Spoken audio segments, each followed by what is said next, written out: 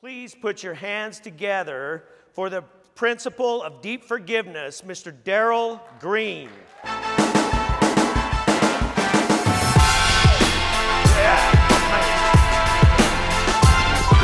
Love you too, man. Love you too.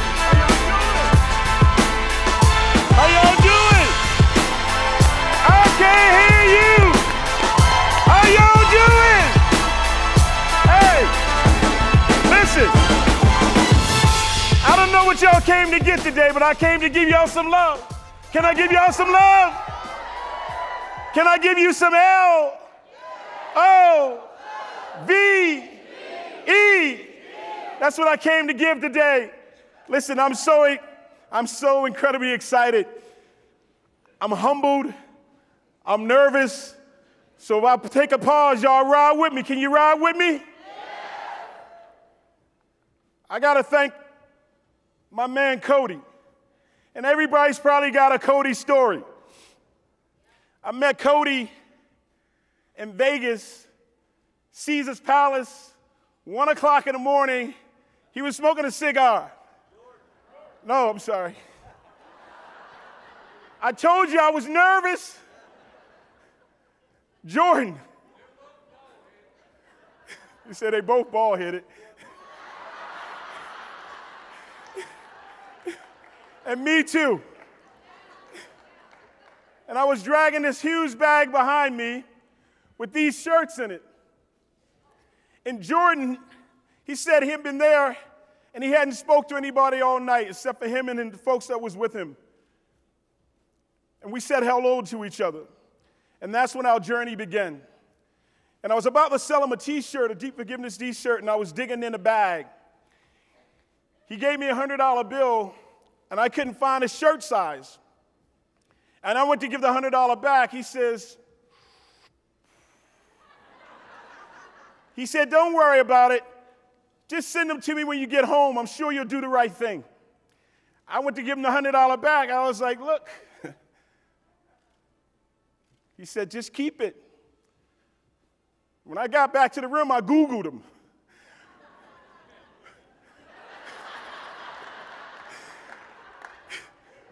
When I got home, I said to my wife, hey, how you doing? She said, what, what are you doing? What are you doing? What are you doing?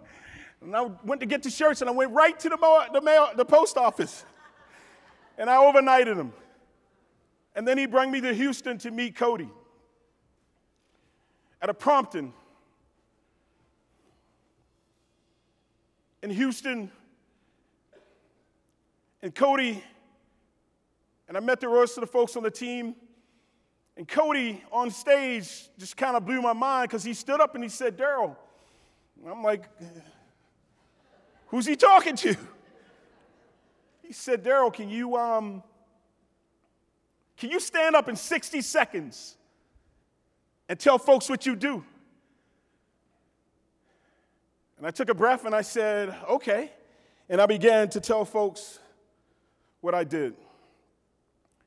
And as a result of that, I got invited here. So, isn't God good? Before I do anything else, I just want to give God all the glory and the honor that He deserves. Because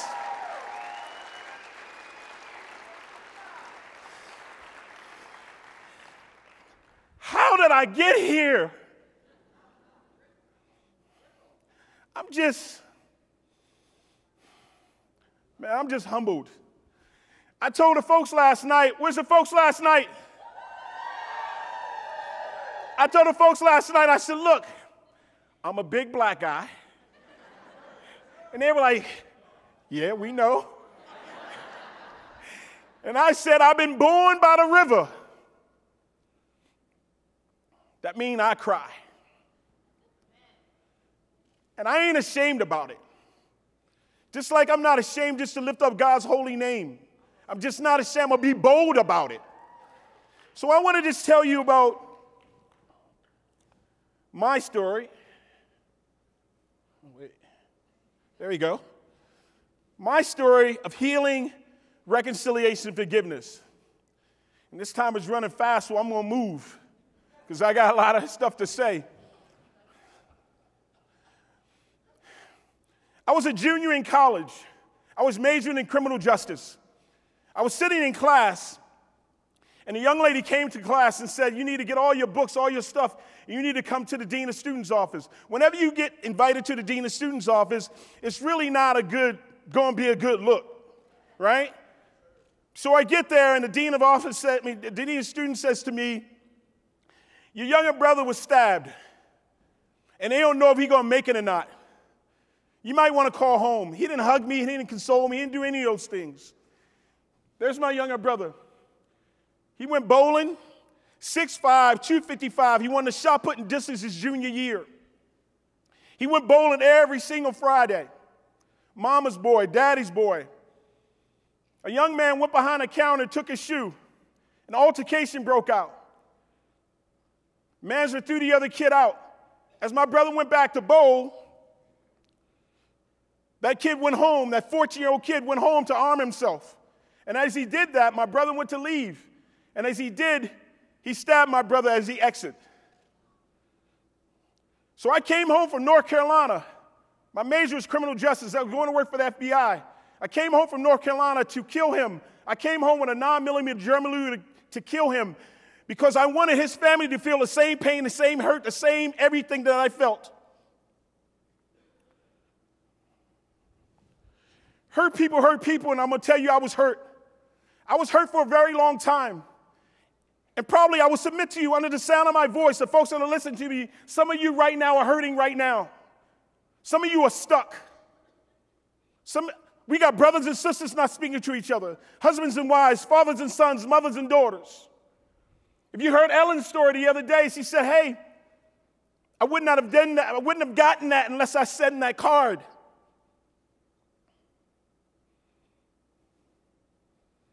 So I went to court to kill him. But God is so incredibly awesome that that didn't happen. I was angry for a long time and I asked God to take the anger off of me and give me something else. I wasn't far enough in my spiritual journey to pray for like supplication, right? So I just said, God, just take this anger off of me. Because I didn't, I didn't run from trouble, I ran to it. And if you and I went in the mailbox together, we went in a, in, in a room together, my deal is that I was coming out, you weren't. Whatever I had to do to you, I was going to do that to get out. My older brother was killed as well in a car accident. I am the only male child left. And I say child because I'm always going to be a child in my parents' eyes. My older brother was in a car accident. He was thrown from the vehicle. My father went back to the scene 16 and a half hours later and found him eight feet in the brush.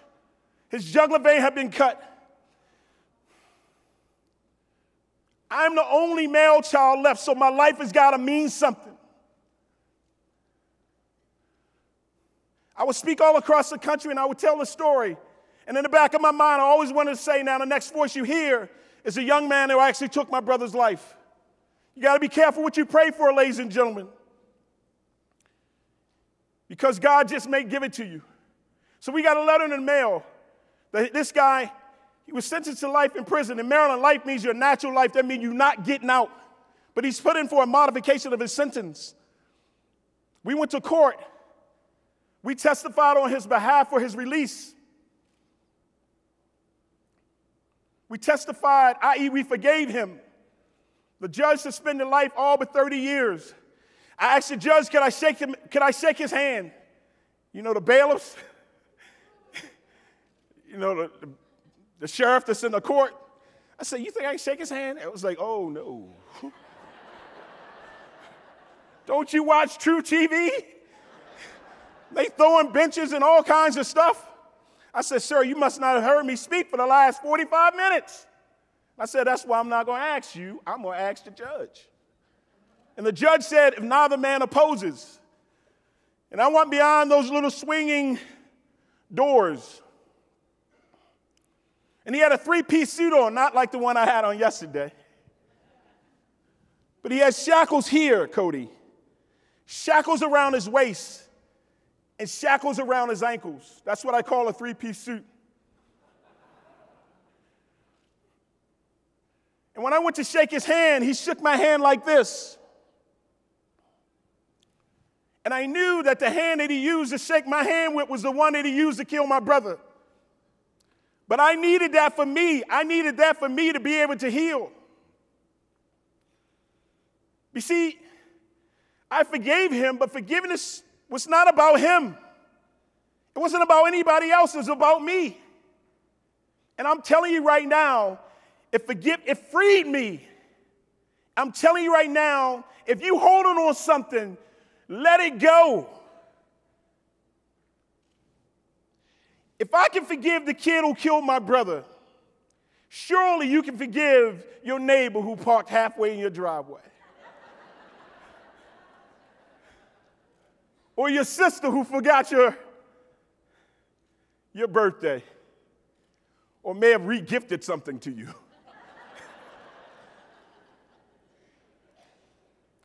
Do you want to be better?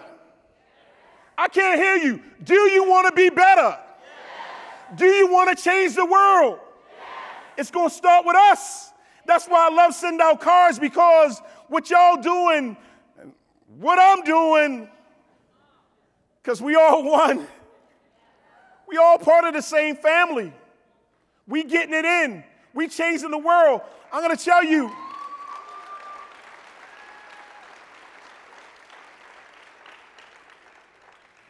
The first send out card I got was from Jordan. And when I got it, he had a picture of me with my deep forgiveness shirt on. He said, You're great, you're gonna do great things. I got it. I started running through the house. I said, Baby, baby, look. This guy believes in me. And it was at a moment, and I called Jordan, he pro- and Jordan still has the phone message that I left for him on his pocket, in his pocket right now. I was so blown away because I was in a moment of, yo, folks don't want to talk about healing. Folks don't want to, they hurt. And in some folks, you comfortable in your hurt. Some of you have been wilding around in your own, that old filth for so long that now that stink starts to smell good to you.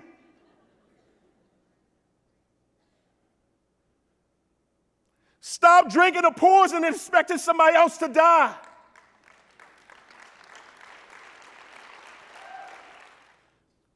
Don't wait because it might be too late, y'all. Don't wait.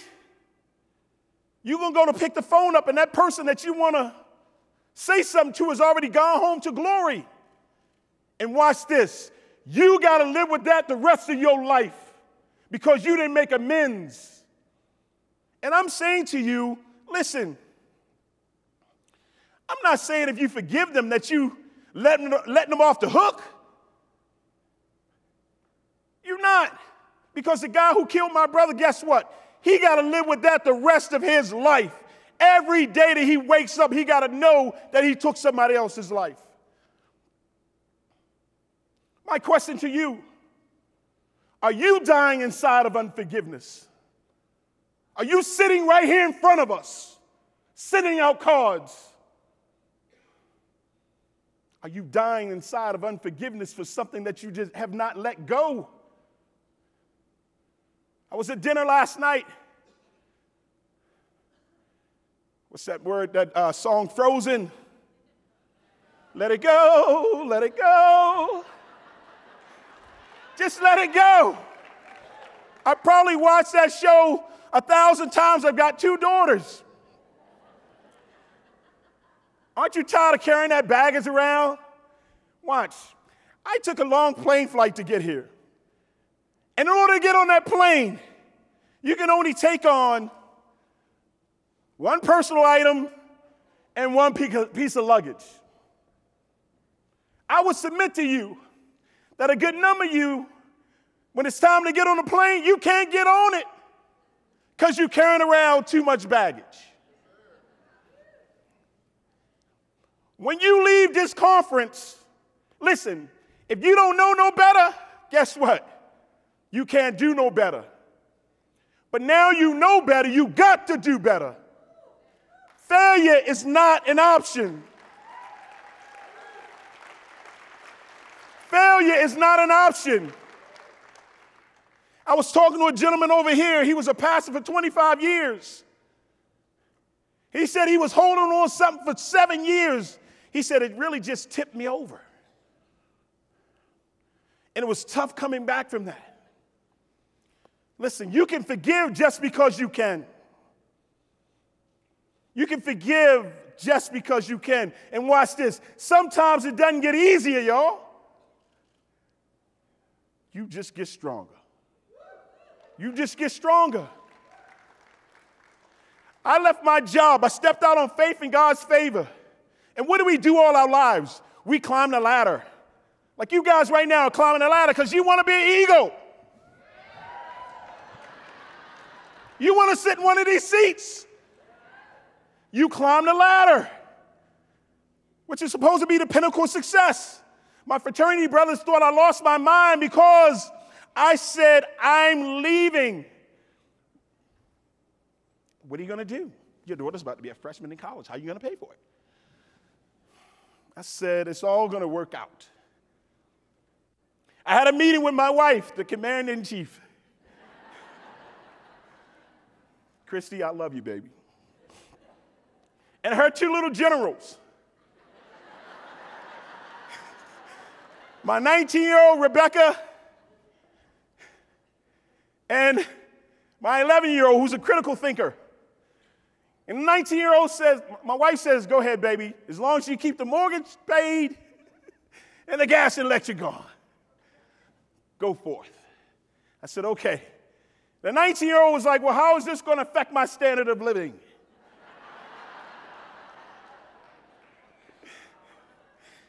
and then the 11 year old says, Daddy, I believe in you, go ahead. Elements of healing it gonna, it's going to take some time, you guys. Take baby steps, make a plan. Sometimes you want to have those difficult but courageous conversations. Stop dwelling and retelling, tell, dwelling and retelling the whole girl. Don't you? He did. Oh, oh yeah, he. Uh, uh, uh. Don't you get tired of your girlfriends who tell you the same story every single day, all day, every day? Every time you see them, they just drain your energy. I'm like, child, please. Boy, bye. Seek, seek grace.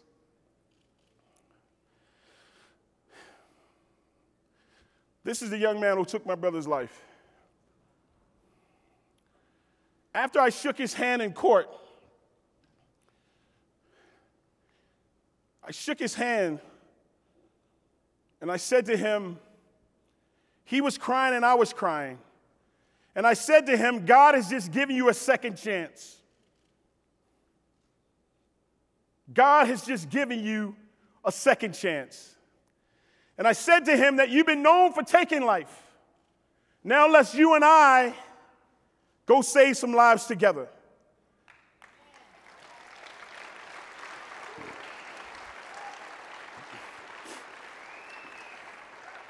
I'm running out of time. Somebody stop this thing from ticking. I keep looking at it.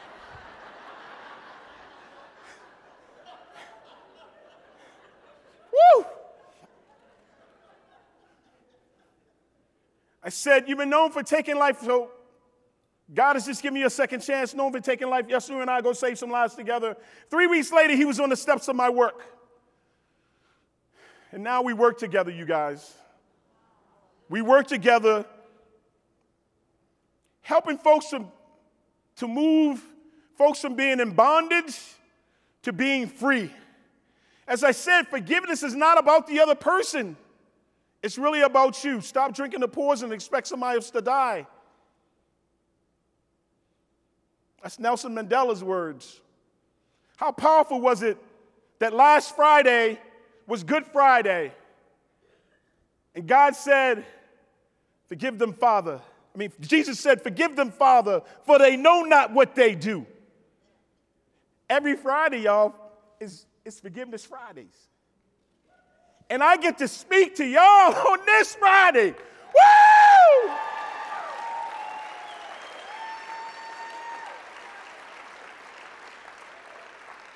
That was this graduation we were at. I'm 30 seconds. Cody, tell him stop this.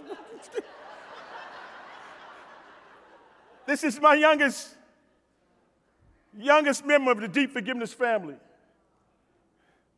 Oh, y'all know that guy. Watch this, Cody. Bam. McCabe Avenue.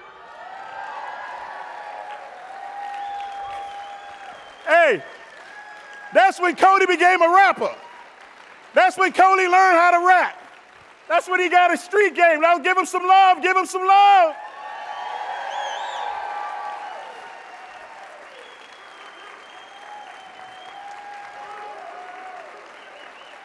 This is my man Jordan. I'm wrapping up. This was the very first card I sent out. This lady is Angela Bassett. This is the very first card I sent out with Jordan's help. He was like, Look, this is what you got to tell her. and because the message, the police department and the African American community, there's such a huge lack of trust. I try to work with them to understand that, look, see, they don't know when they stop me that I'm a husband, I'm a father, I have two master's degrees, I love my children, I'm somebody's son, all those things. They just see me, a big black guy. And so, what I try to do is to help us to bridge that gap of L O V E. Here's my girl right here, Rebecca Randall.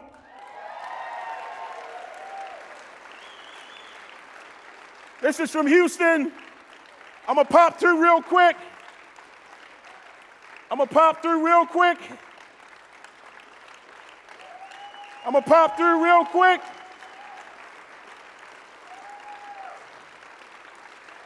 This is a March for Life right here, Washington, D.C.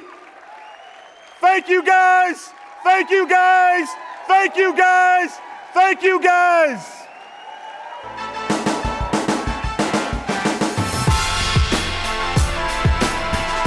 That all right?